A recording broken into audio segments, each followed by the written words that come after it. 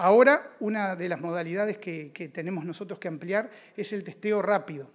El testeo por esa famosa técnica LAMP, que el Instituto Pasteur, al quien tenemos que estar muy agradecidos, digo, porque ha, permitido el desarrollo de todos los kits diagnósticos y ahora el de la técnica LAMP, porque ya nos van a entregar. Para eso nosotros estamos en todos estos hospitales que, te nombré, que son hospitales de tercer nivel, más los puestos en la frontera seca, como va a ser Chuy, Artigas, tenemos que poner también en Río Branco, eh, y, Rivera obviamente lo va a tener ya los hospitales del tercer nivel, las técnicas LAMP, que es una técnica de diagnósticos en 45 minutos por PCR, que es muy sensible, sirve.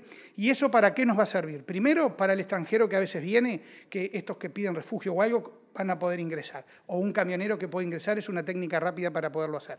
Y lo otro, cuando un paciente ingresa al hospital, de estos de tercer nivel, se hace la técnica para ver si es COVID positivo, porque nos está pasando que están ingresando pacientes que no tienen sintomatología respiratoria y terminan siendo positivos para COVID y eso expone al personal que lo atiende.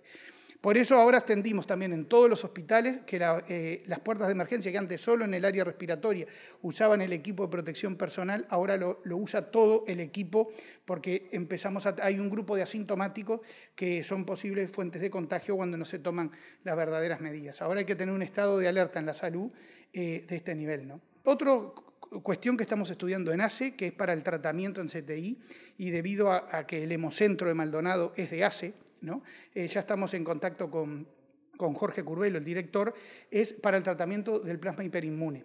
Eh, ha demostrado, hay pila de trabajos eh, a nivel científico que demuestran que es bueno el tema del plasma hiperinmune, sobre todo en las primeras etapas, y estamos trabajando con, justamente con el hemocentro, pues el doctor Jorge Curvelo eso ya lo tiene bien protocolizado y claro, y eso va a ser importante cuando venga la vacuna, porque se puede llegar a, darle vacuna a las personas y a esas personas se les puede traer plasma que puede servir después para tratamiento.